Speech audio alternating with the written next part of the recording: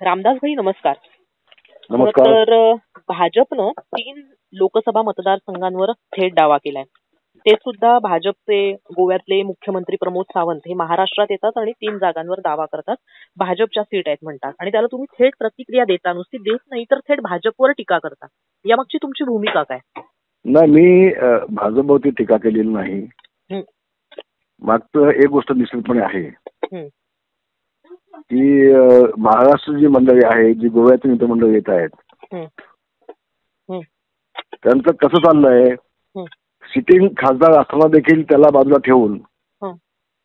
मग तिथं भाजपचा उमेदवार कसा देता येईल. आता उदाहरण द्यायचं झालं तर या आमच्या रायगड जिल्ह्यामध्ये. सुनील तटकरे हे सिटिंग खासदार आहेत हं. आणि तिचा होते. आणि मोदींच्या आणि शहाजींच्या नेतृत्वावरती विश्वास ठेवून समोर आलेले आहेत. असं असताना तिथे भाजपचे आमदार धैर्यश्री पाटील. हे प्रत्येक मतदारसंघामध्ये येऊन. हा विश्वासघात होतो ना. ओके हा विश्वासघात आहे सिटिंग खासदाराला बाजूला ठेवून हा आता या रायगड जिल्ह्यामध्ये शिवसेनेचे आमदार आहेत तीन हो एक गुहागर मतदारसंघ आहे तो देखील मीच बघतोय हो चौथा स्वतः त्या तटकरींचा आहेत हम्म. मग सगळे आमदार त्यांच्यासोबत असताना हम्म. तुम्ही असं कसा दावा सांगू शकता की हे आम्हाला सुद्धा जागा द्या म्हणून हम्म. अं, माझं मत एवढंच आहे याच्यामध्ये स्वतः शहासाहेबांनी लक्ष घालायला हवंय हम्म. कारण महाराष्ट्रामधून आपलीच पोळी भाजून घेण्यासाठी हम्म. वरच्या मंडळीला वरच्या नेत्यांचा गैरसमज करून कदाचित हे चाललं असं असा माझा अंदाज आहे कारण शहाजी आणि मोदी साहेब असा अन्याय करणार नाहीत असा माझा पूर्ण विश्वास आहे. पूर्ण विश्वास आहे. पण महाराष्ट्रामध्ये आता पण तेच झालंय. की शिवसेनेच्या आमदारांना मतं द्यायची नाहीत आपली भाजपची. दोन हजार एकोणीस सालामध्ये जी निवडणूक झाली माझा मुलगा इथं दापोली मतदारसंघात उभा होता हो भाजपने उघड उघड राष्ट्रवादीला मतं टाकली. युती असताना युती असताना. आणि माझ्या मुलाला पाडण्याचा प्रयत्न केला. असं एकाच ठिकाणी घडलं नाही संबंध महाराष्ट्रामध्ये अनेक ठिकाणी हम्म. अनेक ठिकाणी घडलंय म्हणजे शिवसेनेच्या उमेदवाराला पाडायचं.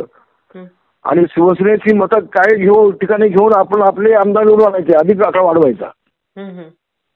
हे सातत्यानं चाललंय हे थांबलं पाहिजे. याच्यामध्ये शहासाहेब मोदी साहेब यांनी वरच्या लोकांनी स्वतः लक्ष घातलं पाहिजे. आणि म्हणून मी काल म्हटलं एक शब्द मी आणखी पुढे बोलून गेलो. की आपला फक्त पक्ष वाढला पाहिजे आणि बाकी सगळे पक्ष संपले पाहिजेत. अशी भूमिका आहे की काय काही लोकांची. संशयाला जागा आहे म्हणून मी बोललो. आता रत्नागिरी जिल्ह्यामध्ये विनायक राऊत जे जे खासदार आता आहेत उभाटाकडे आहेत ते. हा. पण ती जागा शिवसेनेची आहे ना आमची आहे ना? बरोबर. मग तुम्ही तिथे अण्णा कशी देऊ शकता? राणेसाहेब कशी मागू शकता जागा ती. मागच्या वेळेला विनायक राऊतांचा प्रचार स्वतः मी जाऊन केला होता तिकडे कणकवलीमध्ये हो मग असं असताना तिथे आमचा हक्क असताना आमचा उमेदवार देण्याच्या ऐवजी. तुम्ही तिथे वेगवेगळी नावं पुढे आणाल. तर ते कसं मग मग सहन करायचं आम्ही पण दोनदा पण बुक्याचा माग आम्ही सहन करून घ्यायचा का. आणि म्हणून मी काल नाईलागन बोललो मला युतीमध्ये कुठेही खिंड पडायची नाही. युतीमध्ये कुठेही वाद निर्माण करून घ्यायचा नाही आम्ही भाऊभाऊ आहे ते भाऊभावाप्रमाणे सगळं चाललं पाहिजे. अशी प्राथमिक इच्छा आहे. पण आता आम्ही जेवढे मागच्या वेळेला लढलो. लोकसभेला तेवढ्या जागा तुम्ही आम्हाला दिल्याच पाहिजेत ना. आता संभाजीनगरची जागा आमची आहे. संभाजीनगरची जागा आमची आहे बरोबर हो मग असं असताना तुम्ही तिथे.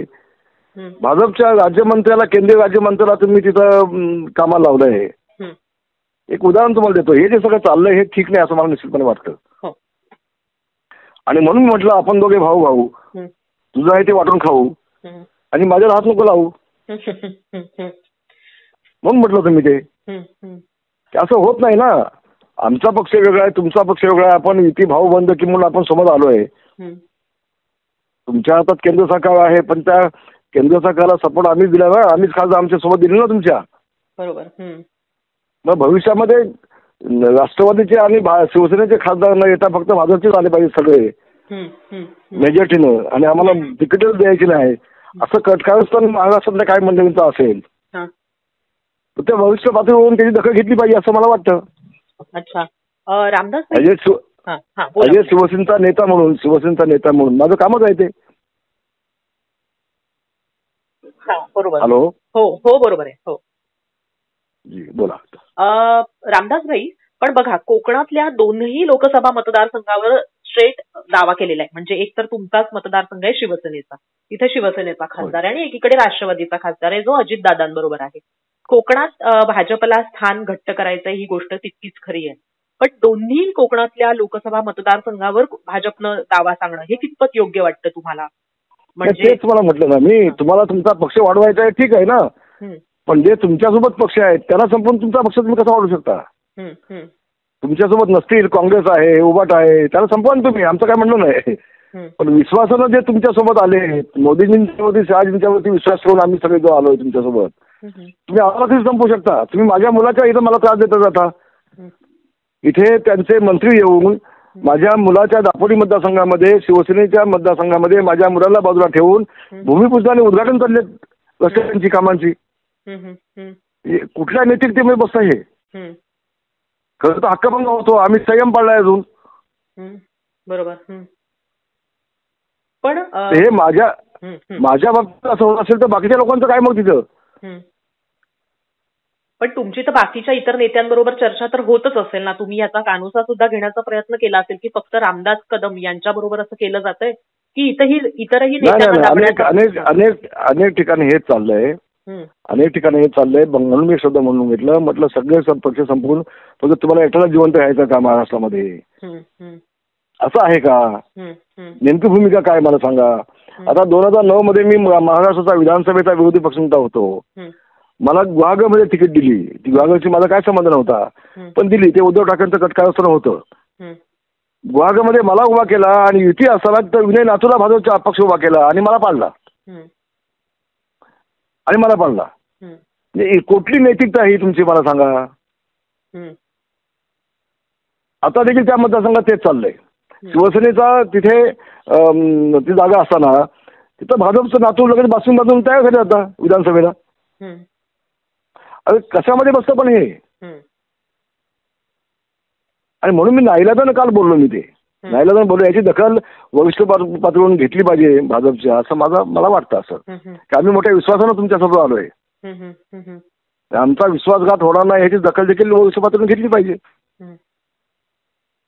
रामदासजी एक आणखीन आहे ते म्हणजे की जसे म्हणजे आता ही सगळी नाराजी तुम्ही म्हणताय की इतरही नेत्यांबरोबर असं सगळं होत आहे मुख्यमंत्री एकनाथ शिंदे जे तुमच्या पक्षाचे प्रमुख आहेत यांच्याकडे तुम्ही तक्रार केली आहे का? त्यांचं त्यांच्याकडे म्हणणं आहे काय? मी त्यांच्यावर अजून बोललो नाही. मी त्यांच्यावर बोललो नाही. मी कोकणामध्ये आहे. माझा भाऊ गेला माझ्या भावाचा मुलगा गेला या दोन दीड महिन्यामध्ये. त्यामध्ये मी दुःखामध्ये आहे. मी कोकणामध्येच आहे. माझी भेट झाली नाही शिंदे साहेबांची. पण मी मुंबईला आलो की शिंदे साहेबांना बोलणार आहे. बोलणार आहे त्यांच्याकडे. पण फोनवरनं कानावर घालणं वगैरे असं? नाही इथून फोन लागत नाही ना ताई. हा अच्छा. इथून आमच्याकडनं फोन लागत नाही. आमची अडचण ती आहे. तुमचा कसा फोन लागला मला माहीत नाही ते गेला पण फोन लागत नाही इथे. बरं एक आणखीन अ, प्रश्न आहे तो म्हणजे की तुम्ही म्हणताय की केंद्रातले जे म्हणजे शीर्षस्थ नेतृत्व आहे शीर्ष नेतृत्व जे आहे भाजपचं त्यांची काही अडकाठी नाही किंवा त्यांचा हे काही राजकारणात या महाराष्ट्रात जे घडत आहे त्याच्यात काही हात नाही असं तुमचं म्हणणं आहे.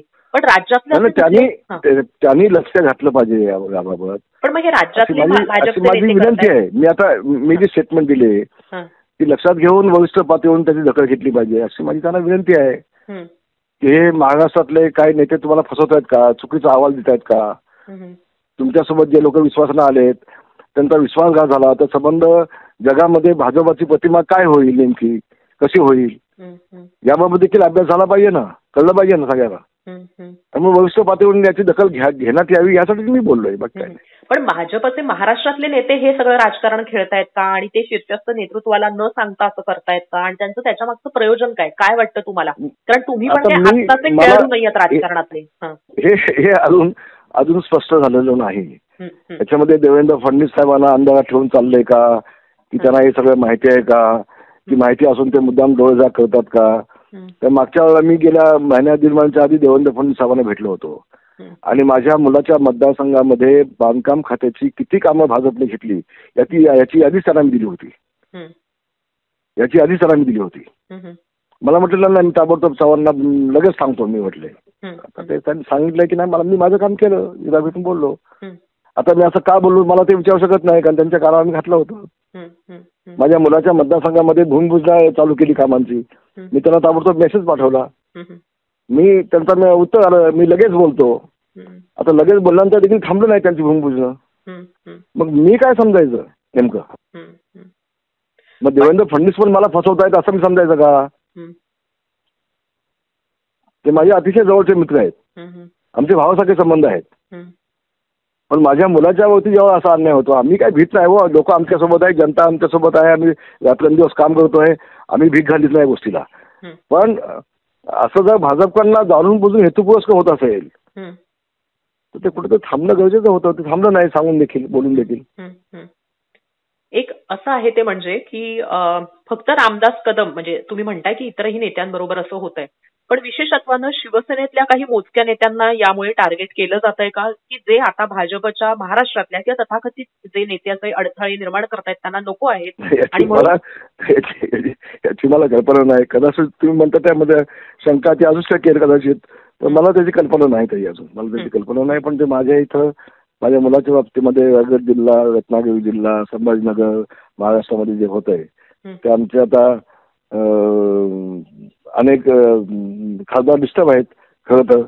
तुम्ही आम- आमचे जे उमेदवार होते आमचे जे खासदार होते त्यांची तिकीट अजून जाहीर करू- होत नाही. खरं तर एकनाथ शिंदेने यांनी दखल घेतली पाहिजे. एकनाथ शिंदेच्या वरती विश्वास ठेवून सगळेजण आले आहेत. तर त्यांची ही जबाबदारी आहे ना. तुम्ही भाजपला विचारून आमचे खासदार कसे तुम्ही जाहीर करू शकता? आम्ही काय भाजपमध्ये पक्ष विलीन विलीन केलं काय आपला शिवसेना? तेव्हा एकनाथ शिंदेने सगळं सगळं सगळं जेवढे आपल्या खासदार आहेत त्या आपण लढवल्या होत्या. त्या जाहीर करून मोकळं व्हायला हवं होतं कामाला लावलं होतं. उद्या आचारसंहिता चालू झाली. ती वेळ कुठे मिळणार आहे मग काम करण्यासाठी? बरोबर. हे खरं तर व्हायला होतं पण उद्या ते झालं नाही. म्हणजे म्हणजे तुमची मला तर नाराजी- शंका येते आम्ही आमचा मला शंका येते आम्ही आमचा पक्ष काय भाजपमध्ये विलीन केला की काय. असं नाही होत ना. पण आता जे बोलताय त्याच्यानुसार तुमची एकनाथ शिंदे यांच्यावर सुद्धा नाराजी असल्याचं दिसतं आहे. म्हणजे तुमचे नाही नेतृत्व अजिबात नाही. अजिबात नाही. अजिबात नाही. मला त्यांच्याकडे मी भेटलो बोललो चर्चा केल्यानंतर मला तितकं स्पष्ट होईल. पण मी बसं बोलणं देखील चुकीचं आहे. जसे विरोधक टीका करतायत ते म्हणजे की भाजप इतर छोट्या पक्षांना बरोबर घेतं आणि त्यानंतर त्यांना संपवून टाकतं आणि सगळं स्वतःच्या कवेत घेतं ते स्वतःच्या ताब्यात घेतं. तशीच अगदी टीका ही तुमच्या बोलण्यातनं दिसते आहे. तर याच्यातलं साधर्म्य आलेलं आहे म्हणून विचारते की इतकं टोकाचा जी प्रतिक्रिया येते आहे रामदास कदमांकडनं तर त्याच्या विरोधामध्ये रामदास कदमांची पुढची पावलं काय असणार आहेत? वेळ पडली तर आम्ही अपक्ष लढू. वेळ पडली तर आम्ही अपक्ष लढू. आम्ही आमचा भगवा नवेपण सोडणार नाही कधी. कधीच सोडणार नाही. एक गोष्ट मी आपल्याला सांगतो. रामदास कदम जोपर्यंत जिवंत आहे तोपर्यंत भगवा झेंडा कधीच सोडणार नाही. कधीच सोडणार नाही. पण मग माझी माझी वैयक्तिक माझी वैयक्तिक माझी भूमिका ठाम आहे. त्यामध्ये कधी कुठेही कधीही काही बदल होणार नाही. बिलकुल नाही होणार बदल. बिलकुल बदल होणार नाही. पण हे अशा पद्धतीनं आपल्याला सोबत आता आम्ही जर नसतो आलो तर ह्यांना मंत्रिमंडळ कुठली मिळाली असती? आम्ही नसतो आलो यांच्यासोबत तर मंत्रिमंडळ कुठली ह्यांना मिळाली असती? म्हणजे आमच्या जीवनावरती मंत्रिमंडळ मिळवायची. आणि आमच्याच मतदारसंघामध्ये भाजपची कामं घ्यायची आणि आम्हाला संपायचा प्रयत्न करायचा. ही कुठल्या नीतीमध्ये बसतंय हे? हं, नको व्हायला नाही उद्धवजी म्हणजे तिकडे मी उद्धवजीने आमच्यावरती अन्याय केला. म्हणून आम्ही इकडे आलो. मग इकडे पण तेच चाललंय की काय असं असं शंका शंका निर्माण होती ना? बरोबर. आम्ही पण पंचावन्न वर्ष पक्षाचं काम केलं. काय नवीन लोकांनी आहोत का राजकारणामध्ये? बरोबर. हो. मी पण विधानसभेचा विरोधी पक्षनेता म्हणून पाच वर्ष काम केलंय. जय महाराष्ट्र.